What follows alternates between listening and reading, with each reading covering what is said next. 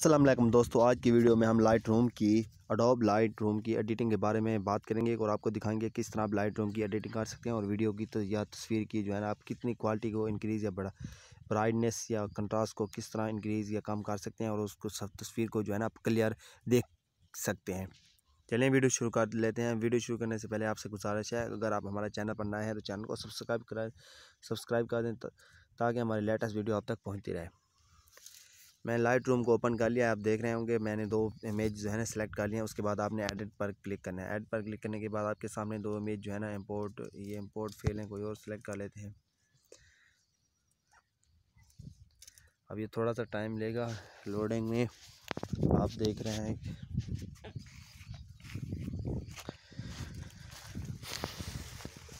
हो जा लोड यार काफ़ी। उसके बाद मैं दो इमेज और को सिलेक्ट कर लेता हूँ। ये तो नहीं हुए सेलेक्ट कोई सिंपल से दो इमेज सेलेक्ट करता हूँ। उसके बाद आपको दिखाता हूँ आपने किस तरह जो है ना अपनी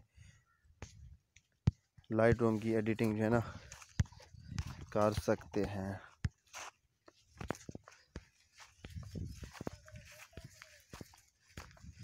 चले, मैं ये दो इमेज सेलेक्ट कर लेता हूँ। एक ये और ये, इसको ऐड करना है। ऐड करने के बाद आपके सामने इमेज हो जाएँगे। बोर्ड हो गए सक्सेसफुली फिर फेल्ड क्यों यार? अच्छा मैंने पहले सेलेक्ट किया हुआ तो वही इमेज आपको दिखा देता हूँ। ये बोर्ड फेल हुआ है। मैं इन दो, ये इमेज एक सेलेक्ट कर लेता हूँ। ये देखें, मेरे पास ये इमेज सेलेक्ट है। अब इसको बता देंगे ये थोड़ा सा ब्लर नज़र आ रहा है उसको आपको कैसे जो है ना ख़राब करने के लिए आपने यहाँ क्लिक करना है, इसके बाद आप छोटा बड़ा कर सकते हैं। ये देखिए। ठीक है दोस्तों, उसके बाद अगर आप चाहते हैं कि ये स्ट्रेट नज़र आए स्ट्रेट करेंगे तो मतलब ये स्ट्रेट नज़र आएगा। ठीक है दोस्तों, अब इसको आगे पीछे इस तरह घुमा सकते हैं देखें ठीक है? उसके बाद आपने क्या करना रोटेट करने के लिए रोटेट भी कर सकते हैं। मैं इसको सीधा कर लेता हूँ।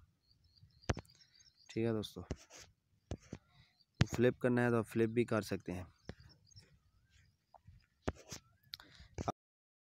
अब चलते हैं ठीक है दोस्तों। ख़राब हो गया। ख़राब करने के बाद अगर आप प्रोफ़ाइल में जो है ना दो तीन तस्वीरें आप ऐड करना चाहते हैं तो वो भी कर सकते हैं। ये देखें ये मतलब फ़िल्टर कह रहा है कि कौन सा आपने फ़िल्टर लगाना है? माना चो। ठीक है दोस्तों।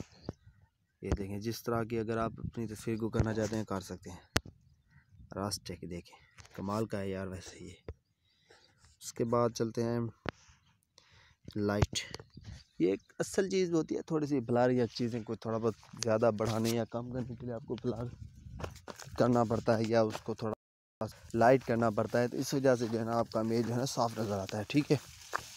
अब एक्सपोयर पर क्लिक करने के बाद आपने थोड़ा सा एक्सपोयर देखें, किस तरह हो रहा है। अब इसको पीछे करेंगे लाइट फिर इसको आपने मतलब थोड़ा सा क्लियर नज़र रखना है थोड़ा सा बढ़ा दें। अगर ज़्यादा बढ़ाएँगे तो फिर भी ये इमेज भी नज़र नहीं आएगा बैकग्राउंड जो है ना तेज़ हो, ज़्यादा मतलब नज़र आएगा, ठीक है?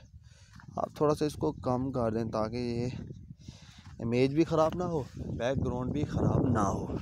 ठीक है, मैं आपको दिखा देता हूँ कि कौन सा ये किस जगह पर ये सही आ रहा है। मुझे लगा ये सही जगह आ रहा है। इसके बाद आपने करना है थोड़ा सा आगे किया है। कंट्रास्ट पर। कंट्रा, ये देखें, बहुत अच्छा नमेज आ रहा है, काफ़ी अच्छा है अच्छी नज़र आ रही उसके बाद हाईलाइट थोड़ा सा कर लेते हैं।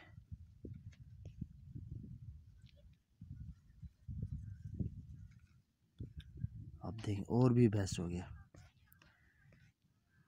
वाइट ब्लैक थोड़ा सा चेंज कर लें। वाइट थोड़ा सा कर लें। ये देखें, और वाइट हो गया। शेडो थोड़ा सा होना चाहिए वैसे मेरे ख्याल में। शेडो नहीं हो रहा वैसे। इस तरह आप इमेज की जो है ना लाइट को बढ़ा सकते हैं। उसके बाद अब मैं चला जाता हूँ इधर। इधर थोड़ा सा आगे पीछे आप करके देख लेना। जहाँ वीडियो साफ़ है आपने वहाँ रख देना उधर ठीक है? ठीक है दोस्तों काफ़ी अच्छी आ रही है यार इमेज सेचुरेशन थोड़ा सा आगे पीछे कर लेते हैं।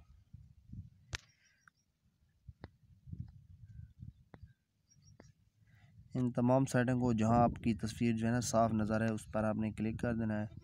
इस तरह आप जो है ना इमेज की जो है ना सेटिंग को कामयाब ज़्यादा कर सकते हैं। ये थी हमारी आज की वीडियो लाइट रूम की थोड़ी सी सिंपल मतलब इंट्रोडक्शन और थोड़ी सी एडिटिंग के बारे में। नेक्स्ट वीडियो हमारी जो है ना, उसको थोड़ा सा ज़्यादा एडिटिंग के बारे में होगी। अगर वो भी देखना चाहते हैं, आप चैनल को सब्सक्राइब कर दें वीडियो को लाइक कर दें।